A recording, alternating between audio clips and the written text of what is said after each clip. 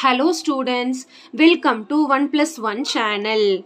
இந்த ப்ராப்ளத்தில் பார்த்தீங்கன்னா find x so that minus seven the whole power x plus two into minus seven the whole power five is equal to minus seven the whole power ten அப்படின்னு கொடுத்துருக்காங்க.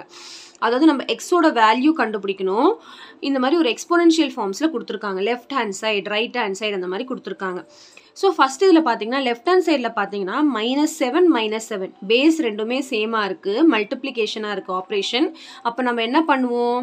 பவர்ஸை add பண்ணுவோம். ஞாபகம் இருக்கா? Exponential form exponential laws of exponents a power m into a power n okay எப்படி இருக்கும்னா ஏ power M plus என்னன்னு எழுதுவோம். அப்போ minus seven power x plus two plus ஃபைவ்னு எழுதணும்.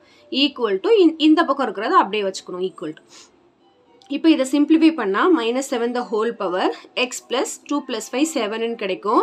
Is equal to minus seven the whole power ten அப்படியே வச்சுக்கலாம். இப்போ இங்கே பார்த்தீங்கன்னா since the base are equal we equate the exponents base ரெண்டும் ஈக்குவலாக இருந்தால் எக்ஸ்போனண்ட்டை நம்ம வந்து ஈக்குவேட் பண்ணலாம் அப்படின்னு அர்த்தம். சரிங்களா? அப்போ x plus seven equal to ten அதே மாதிரி பவர் ரெண்டும் சேமாக இருந்தால் எக்ஸ்போனன்ட் ரெண்டும் சேமாக இருந்தால் நம்ம பேஸை ஈக்குவேட் பண்ணலாம் அப்படின்னு அர்த்தம். சரிங்களா?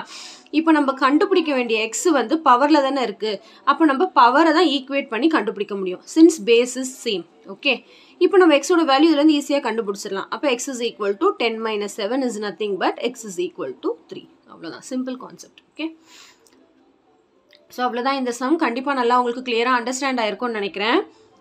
So thank you so much for வாட்சிங் ஸ்டூடெண்ட்ஸ் பாய்